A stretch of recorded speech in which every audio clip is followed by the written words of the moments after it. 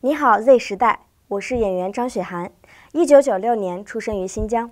我还是比较呃典型的九五后，就是有那种敢拼敢闯的劲儿。嗯，现在 优秀的演员越来越多了，竞争也是挺激烈的。能一直有戏拍，其实挺难的，所以我觉得还是要呃充实自己的表演知识，然后多跟老前辈们去学习。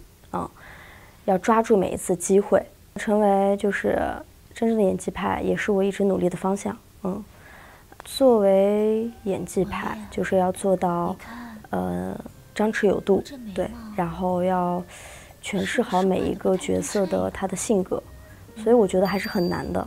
我觉得我们现在应该做的就是多积累经验。其实乌尔善导演他是一个非常有才华而且有亲和力的导演。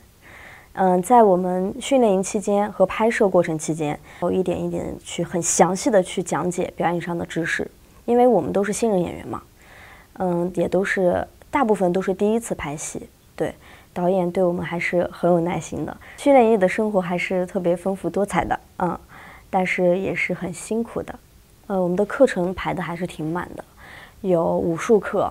马术课，呃，表演课，还有电影赏析课、历史课等等等等。在训练营的半年吧，这半年里，我觉得我学习到了很多，收获到了很多。我当时学习到那些东西，对我现在的整个拍摄过程和我整个成长的过程中，都是有很大的助力。嗯。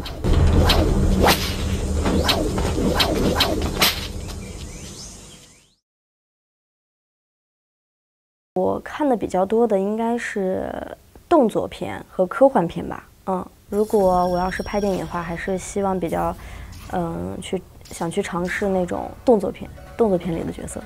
拍古装剧比较多。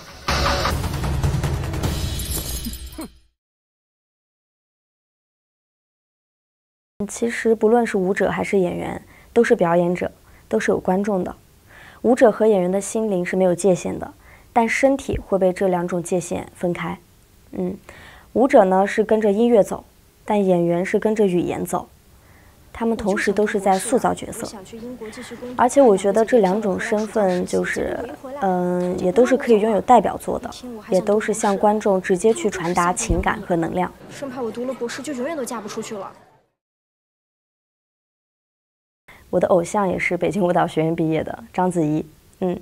章子怡老师也是一个非常优秀的演员，然后有很多经典的一些代表作。她是那种比较能吃苦，然后有敬业精神的。嗯，当一个演员最重要的品质，我觉得就是要有敬业的精神，要有那种传递正能量，然后要传传递那种正确的价值观。